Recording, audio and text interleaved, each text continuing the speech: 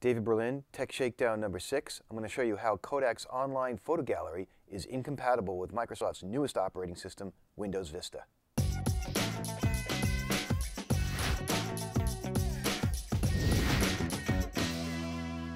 I'm David Berlind with ZDNet. When Microsoft first came out with its Windows Vista operating system, a lot of people had questions about whether it might be compatible with their existing software. But one question a lot of people didn't think to ask was, is it compatible with the websites that they frequent?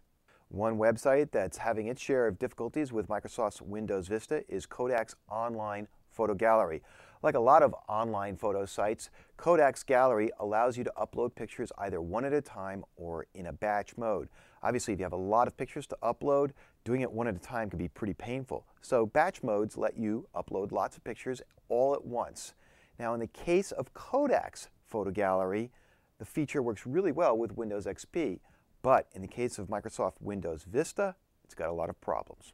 In order for Kodak's batch feature to work, you have to download a plugin. The first time I tried to use Kodak's batch upload feature, I was logged into Microsoft Windows Vista as a standard user, and I was using the built-in browser, which is Internet Explorer 7, and it simply didn't work. When I brought it to Kodak's attention, they sent me this 15-point list on how to get it functioning. But even that didn't work.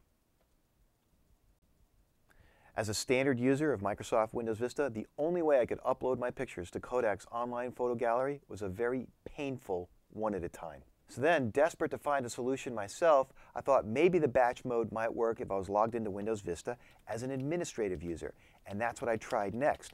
Now, things got better, but not by much. The first time I went to upload a batch of pictures to Kodak's online photo gallery when logged in as an administrative user to Windows Vista, it installed the plugin and everything went swimmingly. But the problem was, after that, the next time I went to upload some pictures, it asked me to install the plugin again, and again, and again, and again. Unfortunately, that's not the way a plugin is supposed to work in Internet Explorer 7. Even worse, there's no clear statement on Kodak's online photo gallery that says that its batch mode is incompatible with Windows Vista. So who's to blame for this mess? Is it Kodak's fault because when they first saw Microsoft Windows Vista coming out, they didn't bother to do adequate testing and find out that their software was incompatible with it? Or is it Microsoft's fault because any software that runs on Windows XP should be forwards compatible with Microsoft Windows Vista. And in the bigger picture, is this an indicator that just like with Microsoft Windows XP, users are going to have trouble running software on Microsoft Windows Vista as a standard user?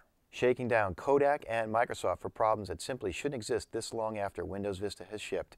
For ZDNet, I'm David Berlind.